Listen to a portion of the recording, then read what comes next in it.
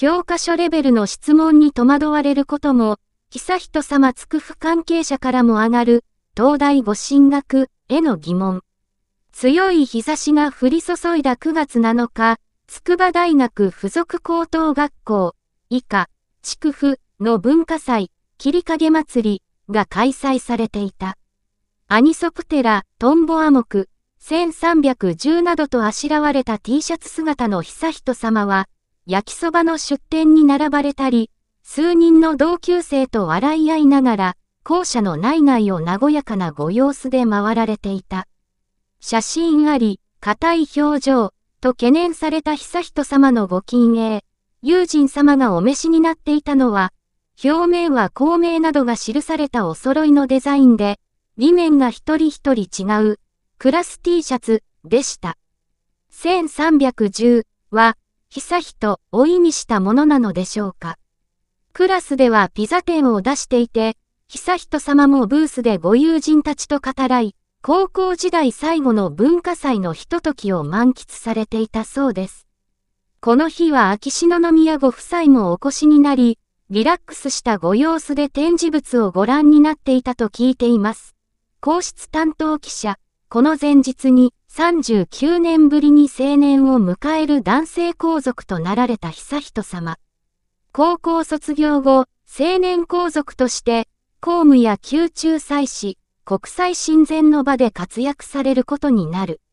一方、8月30日に発表された宮内庁の令和7年度概算要求に、インスタグラムによる情報発信を強化するなど広報充実のため、3400万円もの予算が計上されていたのだ。この方針にはのりこ様のご意向が強く現れていると、宮内庁関係者は語る。今年4月から広報室が行っているインスタを通じた情報発信は、9月上旬時点でフォロワーが約180万に上り、宮内庁としても久々に手応えを感じている取り組みになっています。現状は、両陛下のご公務などを中心に発信していますが、増えた予算で人員を3人増やし、動画や写真の撮影委託費や広告代理店と提携し広報活動にアドバイスを受ける費用に充てる方針です。こうした体制強化は、宮内庁のインスタで秋篠宮家のご活動を発信していく布石でもあります。特に悠仁様には若い青年の男性皇族として、より数多くのご公務要請が集まるはずです。紀子様は、悠仁様の大学ご入学をきっかけに、ご公務や研究活動などを発信することで、秋篠宮家の人気を取り戻されようとお考えになっているのです。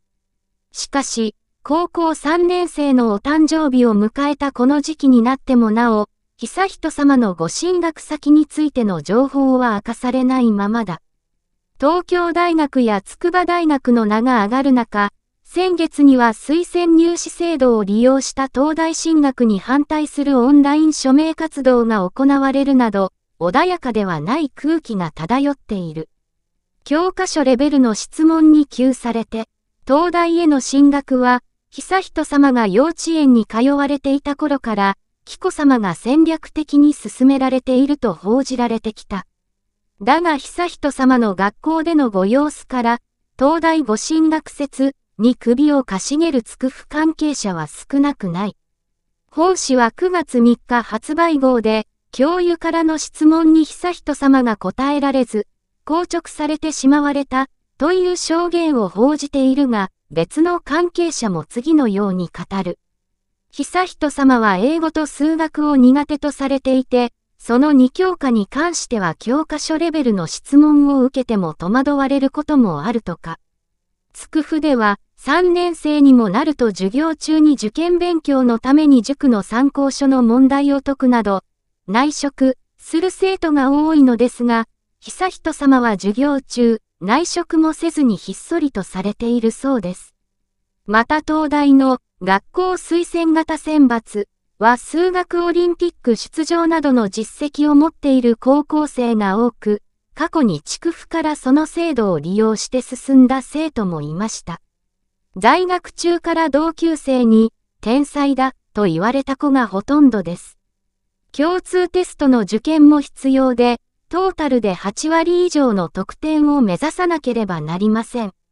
そもそも一般受験でも東大に受かる学力を持っている生徒が利用する制度なのです。ただ、つくふのテストは基本的に難易度が高く、毎年留年してしまう生徒も数人はいます。悠仁様は進級しているので、勉強をおろそかにされているわけではないのでしょうが、東大に進まれる可能性は高くないように感じます。どの大学に進まれるにせよ、あと半年ほどで高校を卒業されて、皇族として新たな地平に立たれることになる悠仁様だが、ご近栄の硬い表情を前出の宮内庁関係者は懸念している。お誕生日に際して公開された悠仁様の近栄のほとんどのカットは、こわばったご表情でした。幼い頃は屈託のない笑顔が印象的でしたが、近頃は微笑みが少ないご表情が多いように感じますし、秋篠宮家をめぐる批判が強まるようになってからは、写真撮影に苦手意識を抱かれているようにお見受けしています。普段ご友人らにお見せになる朗らかな微笑みを、もっと自然に出していけるようになることを願っているのですが、